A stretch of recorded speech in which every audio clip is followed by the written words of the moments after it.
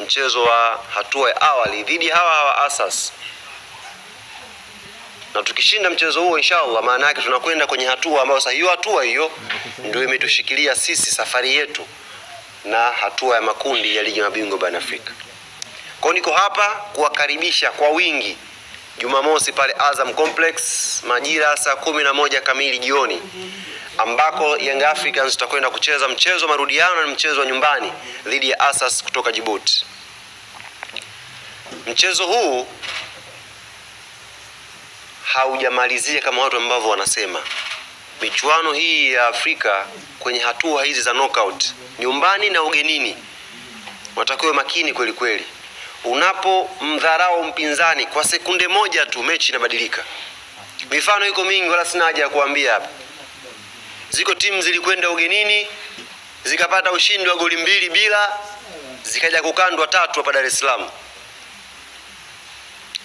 Kukumbusha hili ni kuwaambia mashabiki na wanachama wa Yanga, hatutakii kudharau mpinzani hata kwa bahati mbaya. Hata kwa bahati mbaya tukasema ile mechi imeisha, mechi bado. As long as tuna dakika 90 za kucheza, na wale ni binadamu, wale wale ni binadamu, wana miguu kama sisi. Mechi inaanza pale, hey, hey, wamepata moja, pressure inaanza kuwa kubwa.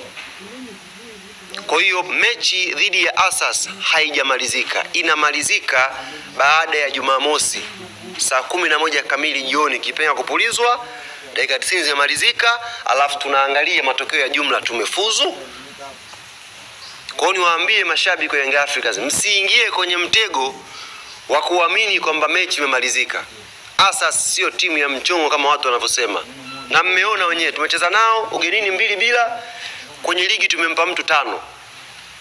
Maana yake kwenye Champions League kila timu inakuja kuwakilisha taifa lake, na hiyo timu inakuwa strong kweli kweli.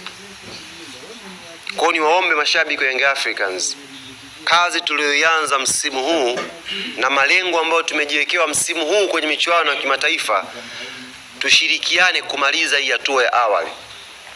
Jumamosi Azam Complex kuanzia saa kumi na moja kamili jioni, mbungi itaanza pale.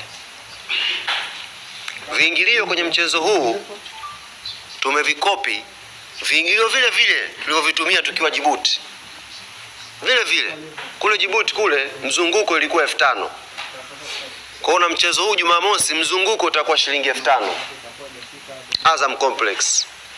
VIP B itakuwa ni shilingi elfu ishirini na VIP A itakuwa ni shilingi elfu thelathini.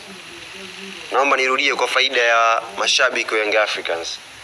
Kiingilio ni shilingi elfu tano kwa mzunguko